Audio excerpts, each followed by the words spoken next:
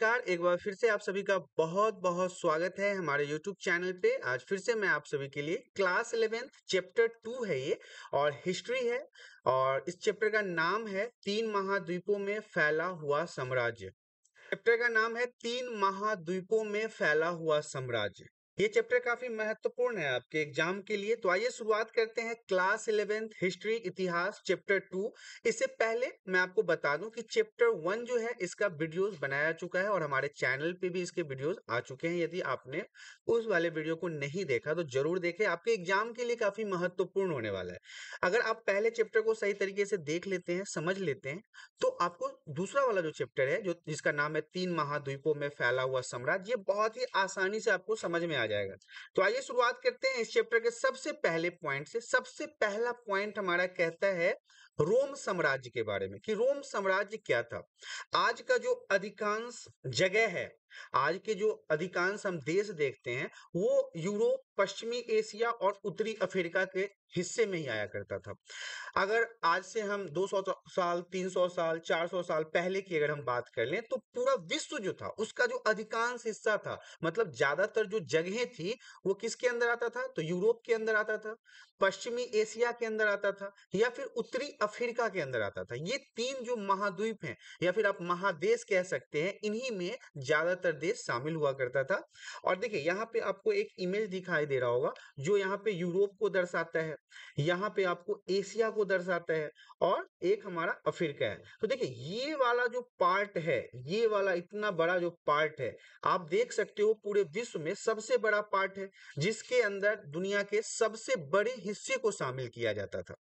Next point हमारा कहता है, रोमन साम्राज्य का फैलाव। तीन महाद्वीपों में है, रोमन साम्राज्य। रोम के जो लोग थे, जो उनका साम्राज्य था, जो वहाँ का राजा था, वो काफ़ी लंबे जगह पर शासन किया करता था, जिसमें कौन कौन से जगह आते हैं?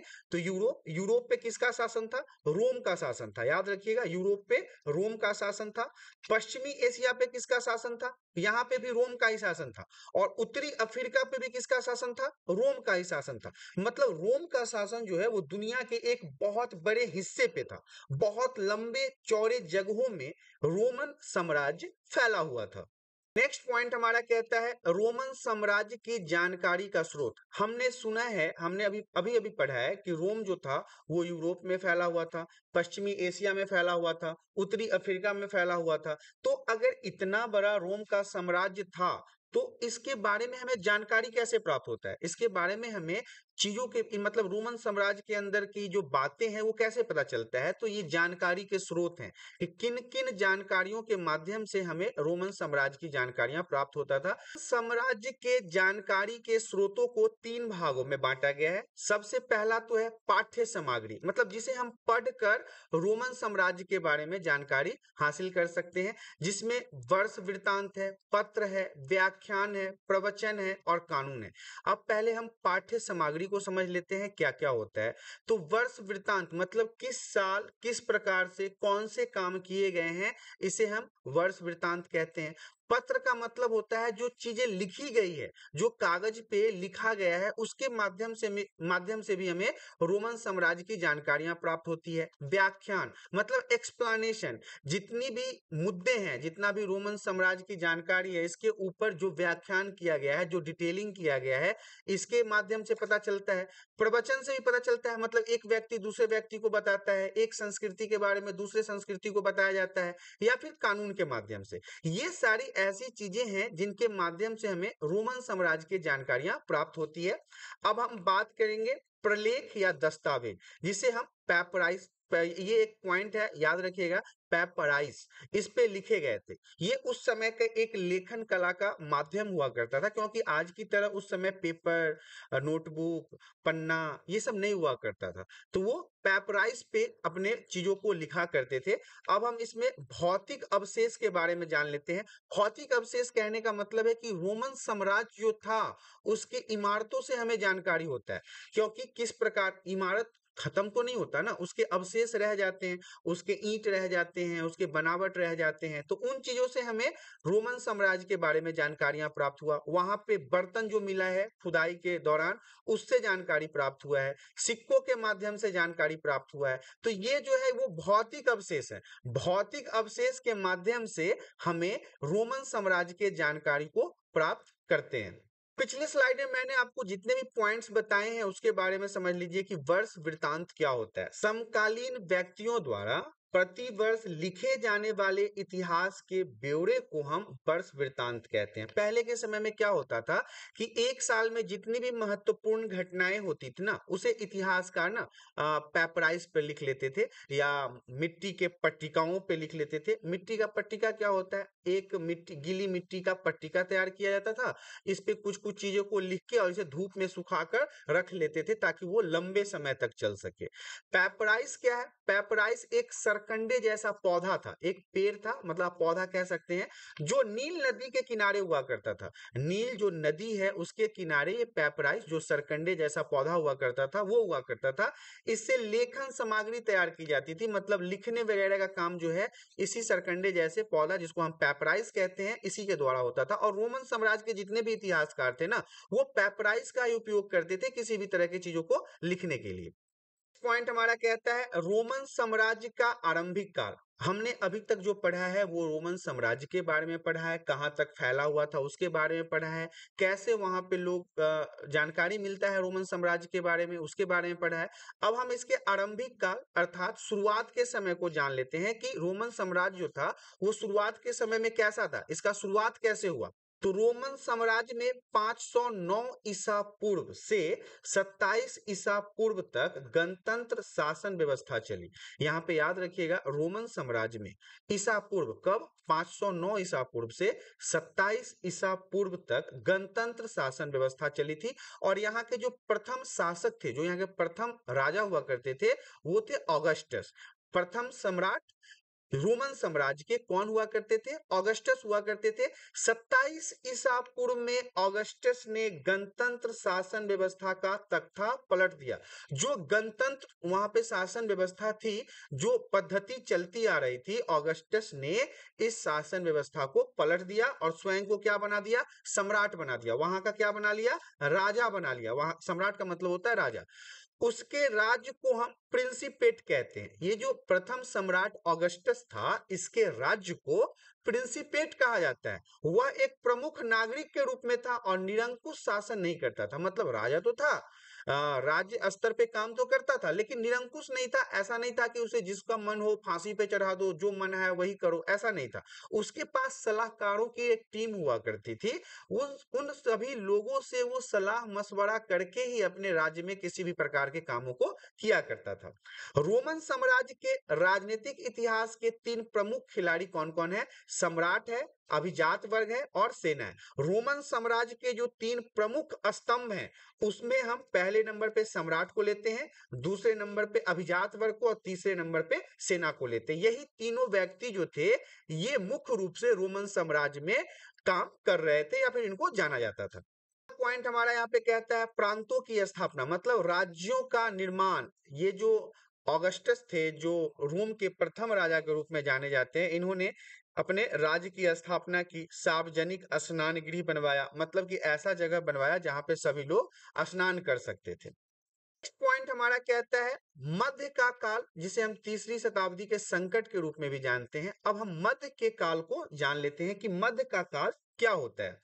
पहला पॉइंट इसमें हमारा कहता है? प्रथम मतलब पहला और द्वितीय मतलब दूसरा। पहली और दूसरी शताब्दी के बारे में बात करेंगे तो शांति था रोमन साम्राज्य के अंदर काफ़ी अच्छी शांति व्यवस्था थी, समृद्धि थी। मतलब आदमी गरीब नहीं हुआ करते थे, सारे लोग जो थे वो धनी वगैरह थे। आर्थिक विस्तार का प्रतीक था। वहाँ पे अच्छे तरीके से आर्थिक विस्तार हो रहा था, अर्थात सभी लोगों के पास काम काज था, रोज़गार था, सभी अपने घर परिवार को सही तरीके से चला रहे थे। लेकिन तीसरी शताब्दी के बारे में हम बात करेंगे कि तीसरी शताब्दी में तनाव उभरा। मतलब टेंशन सब आने लगा, लड़ाइयाँ होने लगी, झगड़े होने लगे।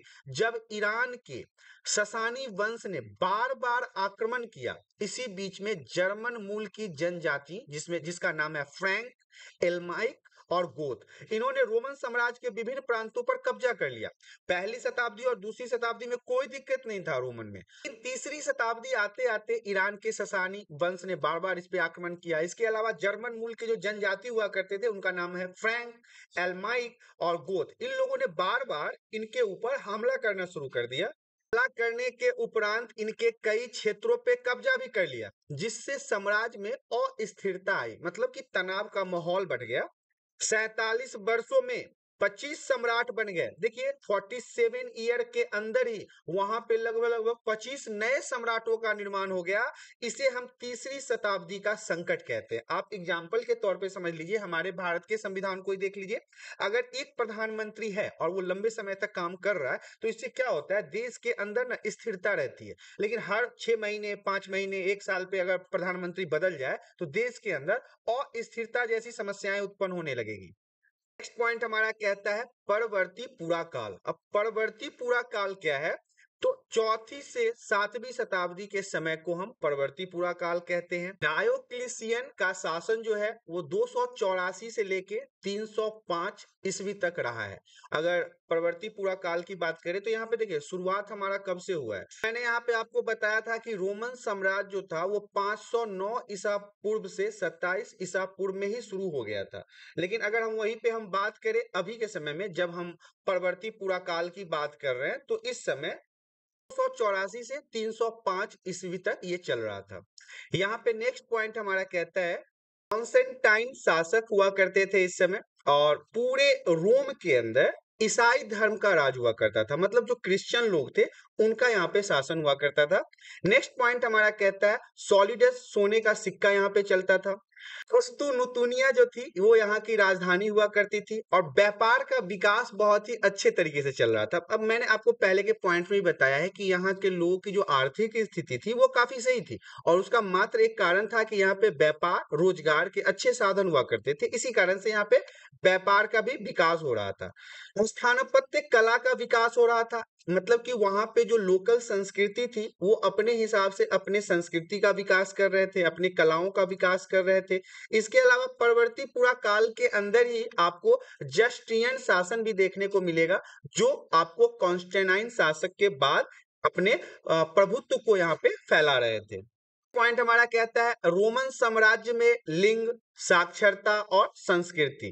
तो रोमन साम्राज्य जो था, उसके अंदर एकल परिवार का समाज में चलन था। मतलब एक परिवार वाले व्यक्तियों मतलब ये कहते हैं ना कि हमारे यहाँ जो आज के समय में जो शॉर्ट फैमिली होते हैं, दो पिता, माता और दो बच्चे वाले फैमिली, ऐसा ही कुछ परिवार का जो रंग रूप था, ढांचा था, वो रोमन साम्राज्य के अंदर भी था। महिलाओं की स्थिति अच्छी थी और संपत्ति के स्वामित्व एवं संचालन में कानूनी अधिकार था महिलाओं का। जैसे कि पति के धन संपत्ति पे उसकी पत्नी का अधिकार था, पिता पे भी अपनी बेटी का अधिकार हुआ करता था कि पिता के संपत्ति में बेटी का कानूनन अधिकार था, जो अभी के समय में अगर आप देखो तो हमारा संविधान भी इसी तरह का अधिकार देता है। काम चलाओ, साक्षर होना मतलब बहुत पढ़े लिखे नहीं थे वहाँ के लोग, लेकिन हाँ अपने काम चलाने, काम चलाओ, साक्षरता का मतलब ये है कि वो अपने जीवन को चलाने के लिए साक्षर थे। संस्कृति जो थी उनका वो विविधता विविधता वाला था मतलब कि अलग अलग प्रकार की संस्कृतियों को वहाँ पे भी पाला जाता था अलग अलग लोग अलग अलग संस्कृतियों को मानते थे। नेक्स्ट पॉइंट हमारा कहता है, रोमन साम्राज्य का विस्तार।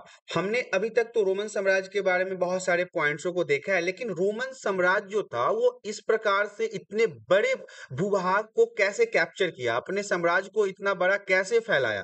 तो देखिए, रोमन साम्राज्य का आर्थिक आधारभूत ढांचा काफ़ी मज़बूत था, क्योंकि वहाँ पे व्यापार का अच्छा साधन था, वहाँ के लोग धनी थे, इसलिए उनका जो आर्थिक आधारभूत ढांचा था, वो काफ़ी संपन्न था। बंदरगाह बंदरगाह कहते हैं जहाँ पे जहाज़ वगैरह रुकता है। खाने, खदाने, ईट के भट्टे जैतून का तेल, कारखाने अधिक मात्रा में वहाँ पे था। मतलब ये सारी चीज़ें रोमन साम्राज्य के अंदर भरपूर मात्रा में था और किसी भी देश या राज्य या किसी भी जगह के आर्थिक स्थिति को बढ़िया करने के लिए अच्छा बनाने के लिए इन सभी चीज़ों का होना बहुत ही महत्वपूर्ण माना जाता है। असाधारण उर्वरता वाला क्षेत्र होना मतलब यहाँ पे जो खेती होता था वो बहुत ही अच्छी खेती होती थी। यहाँ का जो उर्वरक क्षमता था, फ़सलों को उगाने की जो क्षमता थी, वो बहुत अच्छा माना जाता था। सुगठित वाणिज्यिक एवं बैंकिंग व्यवस्था तथा धन का व्यापक रूप से प्रयोग करते थे। इनके पास व्यापार करने का अच्छा साधन था, बैंकिंग व्यवस्था, पैसे के लेन देन करने का अच्छा तरीका था और पैसे इन्वेस्ट करने के लिए ये बहुत ही अच्छे तरीके से अपने पैसे को इन्वेस्ट करते थे ताकि इनका व्यापार और बड़ा हो। नेक्स्ट पॉइंट हमारा कहता है, तरल पदार्थों की धुलाई, जैसे कि जो लिक्विड पदार्थ होते हैं, उनको कंटेनरों में मतलब कि बड़े बड़े कंटेनरों में ये उसको एक जगह से दूसरे जगह तक ले जाते थे।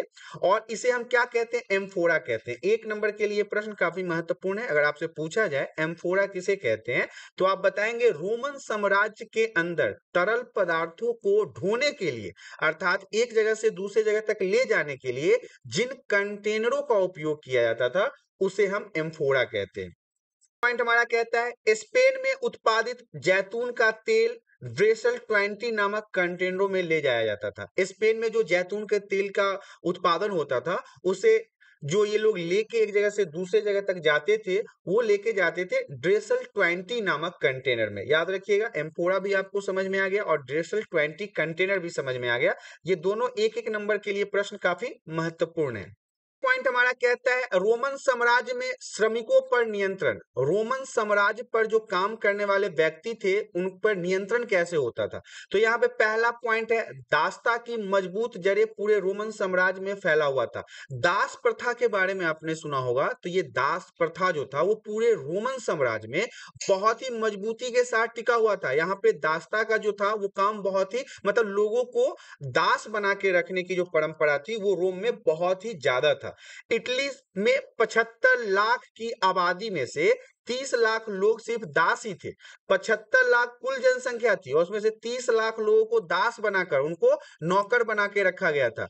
दासों को पूंजी निवेश का दर्जा प्राप्त था। मतलब दासों को खरीदना और बेचना एक प्रकार का बिज़नेस था वहाँ पे। उच्च वर्ग के लोगों द्वारा श्रमिकों एवं दासों से क्रूरतापूर्ण व्यवहार किया जाता था। देखिए, दास जो होते थे ना, उनको ना इंसान नहीं समझा जाता था। उनको जानवरों की तरह ट्रीट करते थे ये लोग। उनको मारना, पीटना, भूखे रखना, जानवरों की तरह काम करवाना और मतलब और भी उल जलूल चीज़ें उनके साथ ये लोग करते थे। तो ये था हमारा दासों के बारे में। जो रोमन लोग थे, जो रोमन लोग इनको खरीदते थे, इनके साथ क्रूरतापूर्ण व्यवहार करते थे। ग्रामीण लोग दास्ता, दास मतलब दास्ता से ज़्यादा जूझते थे, क्योंकि ग्रामीण लोग जो थे, वो ऋण लेते थे, कर्ज लेते थे बड़े बड़े साहूकार से, और इस कारण से वो लोन के नीचे दबते चले जाते थे। दासों के प्रति व्यवहार सहानुभूति पर नहीं, बल्कि हिसाब किताब पर आधारित था। कौन सा दास किस प्रकार के कामों को कर रहा है, कितना काम कर रहा है, यही उसके इज़्ज़त को दिखाता था, उसको कितना इज़्ज़त मिलेगा, वो दास के द्वारा किए गए कार्यों पर निर्भर करता था। अगर दास सही तरीके से काम नहीं किया तो उसे कभी कभी पिंजरे में भी बाँध दिया जाता था, गर्म सलाखों से उसे मारा जाता था, उसके ऊपर दाग उखाड़ दिया जाता था। तो ये सारी चीज़ें जो है, वो वहाँ के दासों के बारे में था। पॉइंट हमारा कहता है? रोमन साम्राज्य में सामाजिक श्रेणियाँ और प्रारंभिक राज्य। अब प्रारंभिक राज्य के बारे में भी जानेंगे, जो शुरुआत में वहाँ पे राज्यों का निर्माण कैसे हुआ और सामाजिक श्रेणियों मतलब स्तरीकरण जो होता है, वो कैसा था? सेनेटर अश्वारोही, जनता के सम्मानित वर्ग फूहर निम्नतम वर्ग, दास, ये सब उस समय रोमन साम्राज्य के अंदर हुआ करते थे। जैसे हमारे भारत को एग्ज़ाम्पल में अगर ले लीजिए तो यहाँ पे ब्राह्मण, क्षत्रिय, शूद्र, वैश्य बनिया इत्यादि हुआ करते हैं ना। ऐसे ही उस समय रोमन साम्राज्य में सेनेटर हुआ करते थे, अश्वारोही हुआ करते थे। अश्वारोही मतलब जो घोड़े की सवारी करते थे। जनता का सम्मानित वर्ग मतलब उच्च वर्ग फूहर निम्नतम वर्ग और दास लोग हुआ करते थे।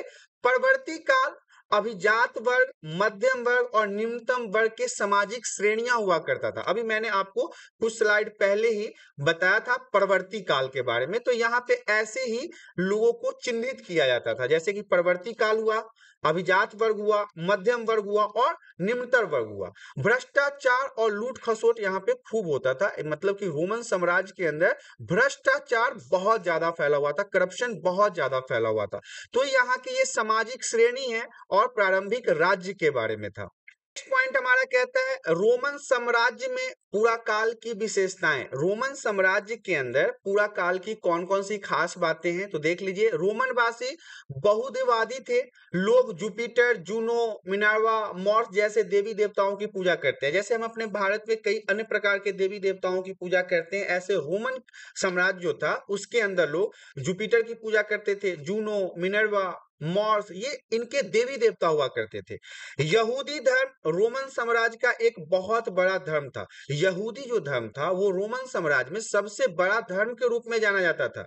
सम्राट डायोक्लिसियस द्वारा सीमाओं पर किले बनवाया गया था। ये सब विशेषताओं के रूप में जाना जाता है, जो मतलब उनका साम्राज्य था और उसकी जो किले थे, वो बड़े ऊँचे ऊँचे थे और वो चारों तरफ़ से बनाए गए थे ताकि कोई दुश्मन देश जो है, वो उनके ऊपर अटैक न करे।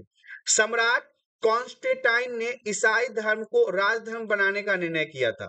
सबसे पहले यहूदी धर्म, वहाँ का सबसे बड़ा धर्म था। इसके बाद जो क्रिश्चियन थे, वो अब क्रिश्चियन धर्म को सबसे बड़ा राजधर्म बनाने का निर्णय लिया गया। साम्राज्य के पश्चिमी भाग से उत्तर में आने वाले समूह गोथ बैंडल तथा लोम्बार्ड आदि ने बड़े प्रांतों पर कब्जा करके रोमोत्तर राज घोषित मतलब रोमोत्तर राज स्थापित किया। मैंने आपको बताया था कि कुछ इराकी और जर्मन मूल के जो जनजाति समुदाय थे, वो इनके साम्राज्य पर बार बार अटैक करते थे और इनको अटैक करके वो उसे अपने कब्जे में ले लिया। और जो भी राज्यों का निर्माण था, उसको फिर से पुनर्गठन किया गया। दोबारा बनाया गया।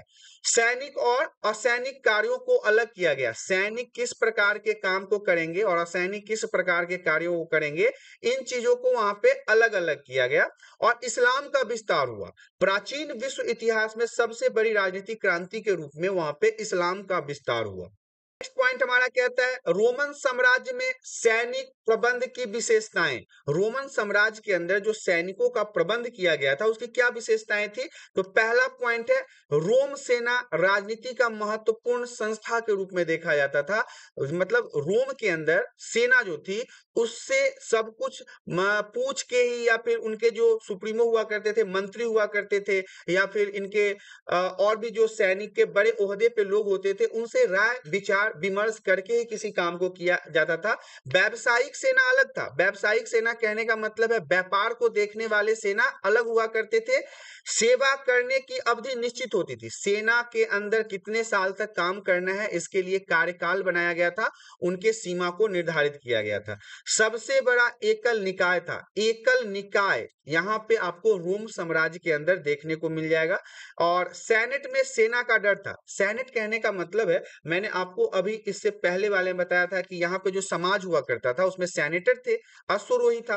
तो इन सभी के अंदर सेनाओं का डर हुआ करता था। मतभेद होने पर गृह युद्ध वगैरह भी हो जाता था। अगर आपस में संस्कृति, भाषा या धर्म को लेकर किसी भी प्रकार की परेशानी होती थी तो ये आपस में लड़ने भी लगते थे, जिसे हम गृह युद्ध के नाम से भी जानते हैं। आंदोलन एवं विद्रोह भी बहुत सारे हुए हैं। यहाँ रोमन साम्राज्य के अंदर सैनिकों की दादागिरी को लेकर कई प्रकार के आंदोलन भी हुए हैं और विद्रोह भी हुआ है। शासक अथवा सम्राटों का भाग निर्धारित करने की शक्ति रखता था। शासक अथवा सम्राटों का भाग जो है, वो सैनिक ही मतलब सेना ही निर्धारित करता है। मतलब आप एक तरह से कह सकते हैं कि सैन्य शासक का वहाँ पे वर्चस्व था। सेना जो चाहती थी, वही करता था। मतलब शासक का निर्धारण मतलब राजा कौन बनेगा? सम्राट किस प्रकार के कार्यों करेगा? इसमें सेना की अहम भागदारी हुआ करती थी रोमन साम्राज्य के अंदर। पॉइंट हमारा कहता है, दास प्रजनन। गुलामों की संख्या बढ़ाने के लिए ऐसी प्रथा थी वहाँ पे रोमन साम्राज्य के अंदर की दासियों के साथ उनके मर्दों को और अधिक से अधिक बच्चा पैदा करने के लिए प्रोत्साहित किया जाता था। यहाँ पे दासों की संख्या को बढ़ाने के लिए दासों को अधिक से अधिक बच्चा उत्पन्न करने की ज़िम्मेदारी दी जाती थी, जिससे वहाँ पे दासों की संख्या बहुत ज़्यादा बढ़े और दास के मालिकों को ज़्यादा मुनाफा हो। उनके बच्चे भी आगे चलकर दास ही बनते थे। ऐसा नहीं है कि दास का अगर कोई बच्चा हुआ तो वो डॉक्टर, इंजीनियर बनेगा, नहीं। दास का बच्चा भी आगे चलकर दास का ही काम करता था। दास श्रमिकों के साथ क्या क्या समस्याएँ थी, इसके बारे में जान लेते हैं कि जो दास हुआ करते थे, जो दासों से काम लिया जाता था, उनमें किस किस प्रकार की समस्याएँ और दिक्कतें हुआ करती थी। रोम में सरकारी निर्माण कार्यों पर स्पष्ट रूप से मुक्त श्रमिक का व्यापक प्रयोग किया जाता था, क्योंकि दास जो थे, वो श्रम का बहुतायत प्रयोग द्वारा बहुत महँगा पड़ता था। जैसे कि अगर दास को हमने ले लिया, खरीद लिया और उसे हमने छह महीना काम करवाया अपने खेतों में और छह महीना हमारे पास अगर खेती नहीं है तो हम दासों को भगा देते थे, क्योंकि उनको रखने से हमारा खर्चा बढ़ता था। भाड़े के मजदूर के विपरीत गुलाम श्रमिकों को वर्ष भर रखने और भोजन देना पड़ता था, उनको साल भर रखना पड़ता था, खाना खिलाना पड़ता था, उनके अन्य खर्चे भी उठाने पड़ते थे, जिससे इन गुलाम श्रमिकों को रखने की लागत बढ़ जाती थी। इस कारण से इनको भगा दिया जाता था, काम भर रखा जाता था और उसके बाद इनको निकाल दिया जाता था। वेतन भोगी मजदूर सस्ते तो पड़ते थे मतलब कि कम पैसे पे ये काम करते थे, लेकिन उन्हें आसानी से छोड़ा और रखा जा सकता था। मतलब जब काम हुआ, तब उनको सैलरी पे रख लो, फिर जब काम नहीं है तो उन्हें हटा लो, लेकिन दास में क्या होता था कि जब भी आप खरीद लिए तो आप उसे पूरे जीवन भर उसको रखो, उसे काम करवाओ, उनको खाना खिलाओ तो ये उनको महँगा पड़ता था। तो ये दास श्रमिकों के साथ समस्याएँ उत्पन्न हो रही थी। पॉइंट हमारा कहता है रोमन साम्राज्य में श्रम प्रबंधन की विशेषताएँ। काम को कैसे बांटा गया था रोमन साम्राज्य में, इसे देख लेते हैं। दास श्रम महँगा होने के कारण दासों को मुक्त किया जाने लगा। काम के समय में उन्हें रखा जाता था, बाद में उन्हें छोड़ दिया जाता था। अब इन दासों या मुक्त व्यक्तियों को व्यापार प्रबंधन के रूप में नियुक्त किया जाने लगा। जो मालिक हुआ करते थे, वो गुलामों अथवा मुक्त हुए गुलामों को अपनी ओर से व्यापार चलाने के लिए पूंजी, यहाँ तक कि पूरा कारोबार भी सौंप देते थे कि तुम ये काम तुम्हें दे दिया गया। जैसे कि पहले के जो रोमन साम्राज्य के लोग थे, उनके पास कई प्रकार के व्यापार हुआ करते थे। तो ये दासों से ही व्यापार भी करवाना शुरू कर दिए। उन्हें कोई व्यापार दे दिया और बोला कि तुम्हें इसका मुनाफा सब मेरे को पहुंचाना है और इस काम को सही से देखना है। मुक्त तथा दास दोनों प्रकार के श्रमिकों श्रमिकों के लिए निरीक्षण सबसे महत्वपूर्ण पहलू था। निरीक्षण को सरल बनाने के लिए कामगारों को कभी कभी छोटे दलों में विभाजित कर दिया था ताकि एक काम के ऊपर कई लोगों की निगरानी हो सके और काम को सही तरीके से देखा जा सके। श्रमिकों के लिए छोटे छोटे समूह बनाए गए थे, जिससे यह पता लगाया सके कि कौन काम कर रहा है और कौन काम चोरी कर रहा है। क्योंकि दास को जब ये काम दे देते थे तो उसके ऊपर निगरानी रखने की ज़िम्मेदारी के लिए छोटे छोटे समूह का निर्माण करते थे, जो दासों के द्वारा किए गए कामों को देखते रहते थे।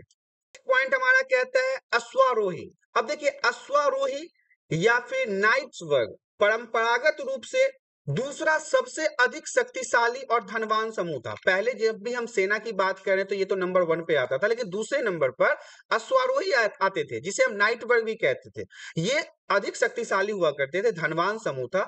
मूल रूप से ये ऐसे परिवार से आते थे जिनकी संपत्ति उन्हें घुड़सेना में भर्ती होने की औपचारिकता, योग्यता प्रदान करता था। ये धनी व्यक्ति हुआ करते थे, इसीलिए ये घोड़े की सवारी करते थे, इसीलिए इन्हें इक्वाइट्स भी कहा जाता था, या फिर आप इसे नाइट वर्ग भी कहते हैं, या फिर अश्वारोही भी कह सकते हैं।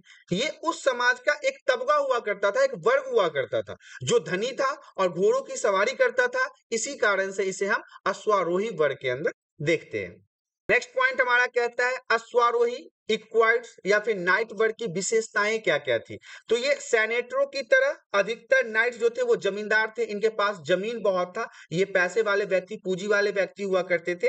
ये सैनेटरों के विपरीत उनमें से कई लोग जहाजों के मालिक, व्यापारी और साहूकार बैंकर हुआ करते थे। यानी ये व्यापारिक क्रियाकलापों में संलग्न होते थे। ये जो अश्वरोही थे ना? ये कई जहाजों के मालिक होते थे, व्यापारी होते थे, साहूकार होते थे, जो पैसे इंटरेस्ट पे देते थे। इस परिवार से ये अश्वारोही आते थे। इन्हें जनता का सम्मानीय वर्ग माना जाता था। मतलब जनता जो है, इन्हें सम्मान की नज़रों से देखता था, जिसका संबंध महान घरानों से हुआ करता था पूंजीपति वाले परिवार से हुआ करता था, पैसे वाले परिवारों से हुआ करता था। इसीलिए जनता इन्हें सम्मान की नज़रों से देखता था। तरह से आपने देखा class eleventh chapter two history जिसका नाम था तीन महाद्वीपों में फैला हुआ साम्राज्य यहाँ पे समाप्त हो गया। आशा करता हूँ वीडियो में दी गई जानकारी आप सभी को पसंद आया होगा। जानकारी पसंद आया तो वीडियो को लाइक कर दे। चैनल पे पहली बार आए तो चैनल को सब्सक्राइब कर लें, ताकि इसी प्रकार के एजुकेशनल वीडियो आपको हमेशा प्राप्त होता रहे। आज के लिए इतना ही। धन्यवाद।